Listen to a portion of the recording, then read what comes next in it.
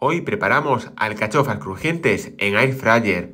Vamos a usar unas alcachofas confitadas o cocidas. Las estiramos en la bandeja del air fryer y vamos al siguiente paso. Ponemos un poco de pimienta recién molida, añadimos un poquito de sal y vamos a ponerle unas hierbas provenzales que le darán un sabor increíble. Y ahora las metemos en air fryer a 200 grados unos 12 minutos y mirar cómo quedan así de sencillas estas alcachofas. Sígueme para más recetas.